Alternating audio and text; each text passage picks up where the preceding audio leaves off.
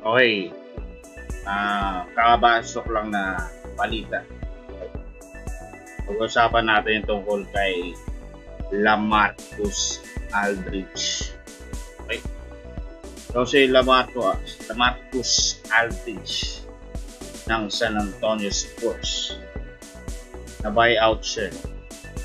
So, ang pinili niya na team ay ang Brooklyn Nets. Okay? Natatandaan nyo ba na parang kailan lang lumipat si Blake Griffin?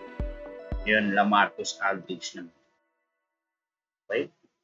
So parang all-stars na talaga yung Brooklyn Nets. May Kyrie Irving, James Harden, Kevin Durant, Blake Griffin, tapos ito si Lamarcus Aldridge. Okay? So meron pa silang slot, isang slot. Siguro baka kunin niya si sila baka kunin nila si Draymond uh, Dray, hindi. Ano, Drummond pala, Drummond. Drummond, Draymond. Basta yun. Okay. So, sobrang lakas na itong Brooklyn Nets. Talagang yung mga players na naghahabol ng ring talagang sumasama sa mga malalakas na team. Okay? Marami nagre-reklamo sa mga buyout.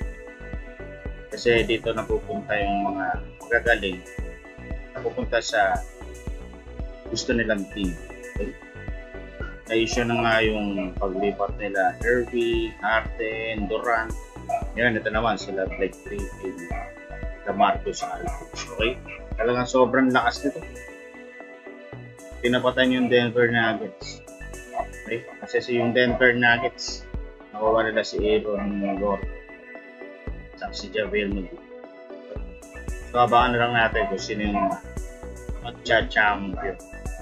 Malamang ito, sa East, Brooklyn Nets na yan. Kasi sa si Embiid ng uh, Philadelphia, injury pa rin. Baka bumaba yun. Philadelphia. Okay? So, yun.